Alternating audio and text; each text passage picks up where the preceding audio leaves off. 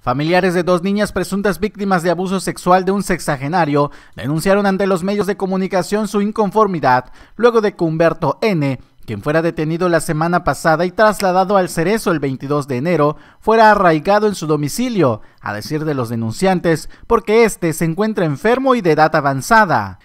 Porque no es justo que también eh, hayan metido los derechos de, según de los artículos de derechos humanos, o por la cierta edad que tiene él, lo consideraron que porque está enfermo, que porque tiene, tiene diabetes y varias enfermedades. Lo consideraron y que lo dejaron allá.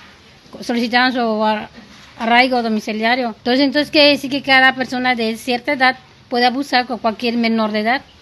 Pues, no es justo. ¿Y, las, ¿Y qué pasó con los derechos de las criaturas? ¿Mm? Entonces cualquier persona mayor puede venir y abusar de uno. Narraron los familiares que las autoridades les informaron que el arraigo domiciliario no quiere decir que ya esté libre de culpa, sino que va a continuar su proceso. Si estuviese enfermo como él, digo, el momento ese de la audiencia, pues no estuviera tanta gente, incluso creo que la colonia de esa parte de la 10 y 12 saben que todo el tiempo hay gente tomando allá y él sabe que todo el tiempo está tomando, hay muchas reuniones de hombres allá. Incluso él niega haber abusado de las niñas, pero no tengo, tenemos, tiene la licenciada, de su propia voz y viva voz de las dos menores. Le explicaron con detalle cómo abusaba él de las niñas.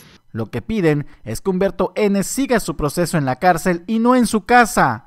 Hasta ahorita pues no sé exactamente si tiene hay otra audiencia, pero vamos a tratar de ver si se puede pelear ese ese apoyo, ese el que estamos solicitando. Sí, porque la verdad, yo creo que no solo yo, hasta la...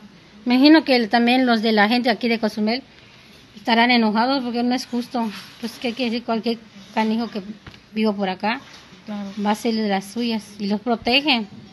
Nosotros tampoco tenemos dinero para tener un buen abogado, para pelear sus derechos de la niña. Más bien por los derechos de la niña. Estamos, estamos enojados porque no se le están haciendo, no se le están aplicando a las niñas.